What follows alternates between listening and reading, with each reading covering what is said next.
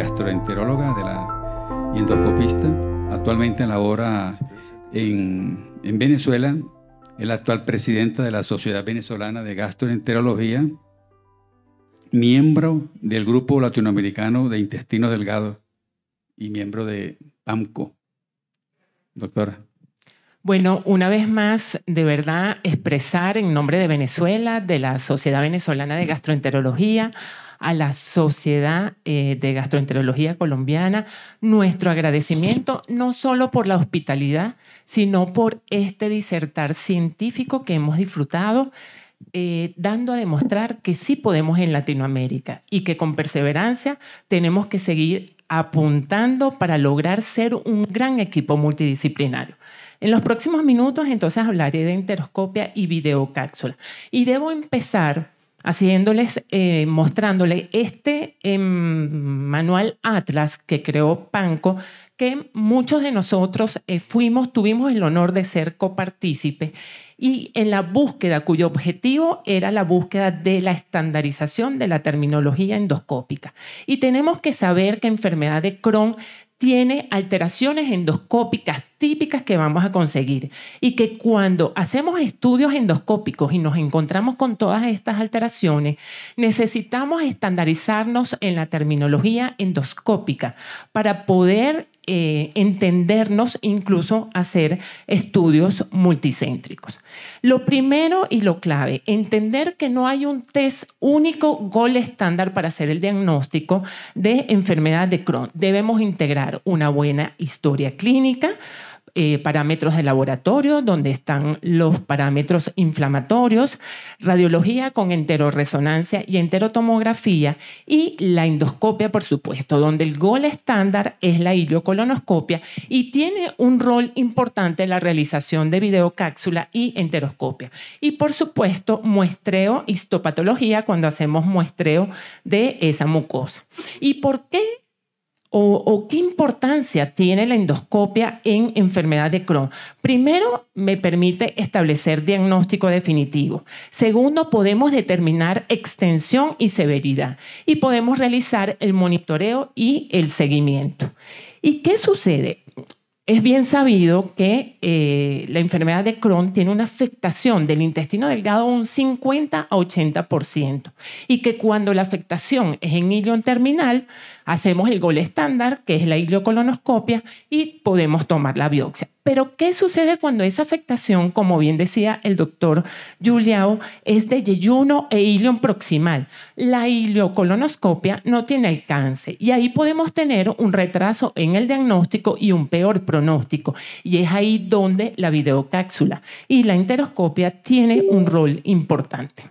Entender que el paciente que inicia con una enfermedad de Crohn, si lo dejamos en una evolución natural, van a evolucionar a una enfermedad discapacitante y el 88% termina con un patrón estenosante o un patrón eh, penetrante. Y es en la fase incipiente donde la videocápsula endoscópica puede permitirnos hacer un cambio en el curso de la enfermedad. Entender también que no toda úlcera siempre va a ser enfermedad de Crohn. Tenemos que tener claro, siempre presente, que hay varias entidades y es con una historia clínica adecuada que vamos a poder hacer diagnóstico diferencial, como es enteropatía por Agnes, como es isquemia mesentérica y como es la yeyunitis en la enfermedad celíaca y las otras menos frecuentes. Y comienzan a salir estudios donde este estudio de Mo, fíjese que es del 2004, él comienza entonces a decir, si encontramos más de tres ulceraciones difusas o múltiples, podemos excluir más que confirmar, con un valor predictivo positivo de 50% y un valor predictivo negativo 96%. Pero si encontramos menos de tres ulceraciones, es sugestivo. Y si lo que estamos viendo son apenas denudaciones, eritemas y fisuras, es inespecífico o normal.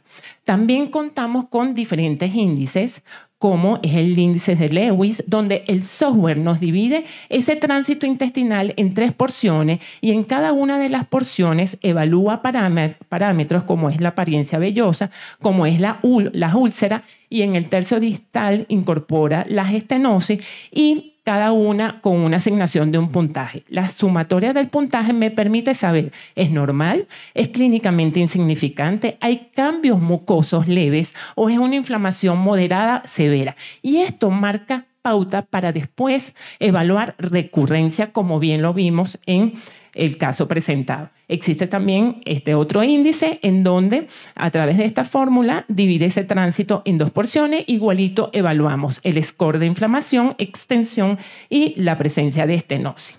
Ahora bien, videocápsula, indicaciones. En sospecha de enfermedad de Crohn, aquel paciente o aquellos pacientes con síntomas que tienen manifestaciones extraintestinales, alteraciones del laboratorio, más estudios radiológicos. Y le realizamos la ileocolonoscopia como estudio gol estándar. Pero está negativa. Ese paciente hay que hacerle videocápsula. ¿Por qué? Porque la videocápsula me va a detectar lesiones sutiles que yo no voy o no vamos a ver en los estudios radiológicos y que no se alcanzan por ileocolonoscopia. Y comienzan entonces en la literatura, hay metaanálisis, donde compara videocápsula con otro estudio. Tránsito intestinal en desuso. Ileocolonoscopia, la videocápsula es superior. ¿Por qué? Porque me explora todo el tránsito intestinal. La enteroscopia por pulsión es sensible solo en las porciones que ella tiene alcance. Y en comparación con enterotomografía y entero resonancia, la videocápsula demostró ser superior. Ahora bien, mensaje importante a llevar a la casa, no hay un test único que sea gol estándar para el diagnóstico de enfermedad de Crohn. ¿Y qué dicen las pautas eje? Ileocolonoscopia como evaluación endoscópica inicial. En sospecha de enfermedad de Crohn es negativa, en ausencia de estenosis debemos hacer videocápsula. Aquí recordar que debemos interrogar al paciente si está consumiendo AINES, porque el 75% de los pacientes hacen enteropatía por AINES. Entonces, paciente refiere, está tomando AINES, debemos descontinuar cuatro semanas y posteriormente planificar la videocápsula. En enfermedad de Crohn diagnosticada, aquellos pacientes que tienen síntomas que no se explican con el resultado normal de la ileocolonoscopia y estudios radiológicos. Y aquí la videocápsula puede hacer un cambio en el manejo del paciente. Igualmente podemos estudiar extensión de la, eh, de la enfermedad de Crohn, la actividad, la severidad, la detección de afectación aislada del intestino delgado y, por supuesto, valorar cicatrización mucosal. ¿Qué dicen las pautas de, ESG? Que para demostrar extensión, localización, identificar estenosis y enfermedad extraluminal, hacemos enterotomografía, enteroresonancia. No tenemos hallazgo, tenemos que ir a una videocápsula y esto es una fuerte recomendación. Y para demostrar la extensión, el monitoreo y el tratamiento por objetivos, la cápsula está recomendada. Fíjense en este estudio cómo la realización de cápsula nos llevó a nuevos diagnósticos en un 42.9%, a nuevas exploraciones un 26% y a nuevos tratamientos en un 74.3%. Importante, retención de videocápsula en pacientes con enfermedad de Crohn sospechada 2.3%, en establecida 4.6%. Pero si en ese paciente hacemos una patency disminuye a 2.8% y si hacemos estudios radiológicos previos disminuye a un 2.3%. No temerle a la retención de cápsula. Del 30 al 50% de los pacientes la excretan espontáneamente, se puede dar tratamiento médico y en aquellos pacientes que se acompañan con malignidad, con tumores, me marca el sitio donde está la lesión y me, me debe llevar a una cirugía con resolución. A través de la enteroscopia se nos ha hecho mucho más fácil el retiro de las videocápsulas. En detección de recurrencia post-intervención quirúrgica es una herramienta segura y efectiva y en este estudio ellos tomaron dos grupos, uno al cual hicieron ileocolonoscopia más cápsula endoscópica y al grupo dos solamente ileocolonoscopia. Y ellos evaluaron recurrencia tanto basal como a los 15, 19 meses. ¿Y que encontraron? En el grupo donde habían hecho ileocolonoscopia con cápsula endoscópica, en esa evaluación de recurrencia basal incorporaron 11 pacientes Luego sometieron a tratamiento y fíjense que la recurrencia fue mucho menor en el grupo donde habían hecho ambos estudios, ileocolonoscopia con videocápsula, en comparación con el grupo solo de ileocolonoscopia. En seguimiento de enfermedad de Crohn, es útil, es tolerable, es seguro en la monitorización de esa enfermedad de Crohn silente. Y en este estudio, que fue un estudio prospectivo, en donde se, em, se le dio la videocápsula a los pacientes, se hizo un seguimiento 24 meses, pero se hizo una monitorización intensiva como demostró el doctor Fabián en el caso que presentó. Entonces, basal le hacían enteroresonancia, patency o cápsula endoscópica y cada tres meses hacían parámetros de laboratorios y cada seis meses durante dos años hacían cápsula endoscópica. Ellos encontraron que el índice de Lewis, la proteína C reactiva y la calprotectina eran factores predictivos basales que predicían recurrencia y encontraron una recurrencia del 28%. Y en el seguimiento, la elevación del índice de Lewis predecía una recidiva en seis meses. Entonces, videocápsula, ¿Qué nos determina? ¿Cuál es su impacto? ¿Cuál es su indicación? Mapeo del intestino delgado en evaluación, remisión, curación de esa mucosa, respuesta del tratamiento y recurrencia postoperatoria. En cuanto a enteroscopia, entonces, la enteroscopia no es el procedimiento de primera línea en la evaluación del intestino delgado del paciente con enfermedad de Crohn. Sí juega un rol importante cuando hacemos un diagnóstico inicial, cuando no se ha logrado establecer el diagnóstico con los métodos habituales. Para establecer diagnóstico diferencial, cuando yo necesito tomar muestra histológica y el impacto real es en los pacientes que requieren tratamiento endoscópico. ¿Qué dice ECO al respecto? En pacientes con ileocolonoscopia negativa y sospecha de enfermedad de Crohn en resonancia magnética o cápsula endoscópica del intestino delgado, la enteroscopia puede realizarse para saber si el diagnóstico debe confirmarse tanto endoscópicamente como histológicamente, con 100% de acuerdo. El rendimiento diagnóstico de la enteroscopia es entre 22 y 70% en pacientes donde se sospecha la enfermedad de Crohn. Y este rendimiento aumenta cuando yo hago la enteroscopia mm, habiéndole realizado previos eh, estudios y eh, esto nos reportó 77.8% versus 60% en aquellos que se le hacía la enteroscopia directa. En este estudio, eh, fíjense que se reporta que la enteroscopia es mucho más sensible para detectar lesiones en pacientes con sospecha de enfermedad de Crohn en comparación con múltiples técnicas radiológicas y con respecto a la cápsula endoscópica porque tiene ventajas. La evaluación de lesiones atípicas, la capacidad de obtener biopsias para histología y el potencial de intervención terapéutica.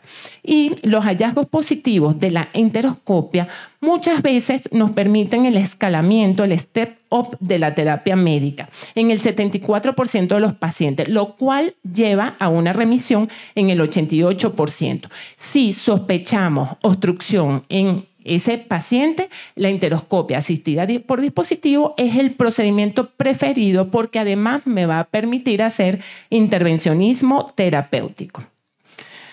La realización previa de la cápsula endoscópica, ¿qué nos va a permitir? Poder decidir cuál es la ruta óptima de abordaje, si es anterógrada o retrógrada, para ubicar la lesión.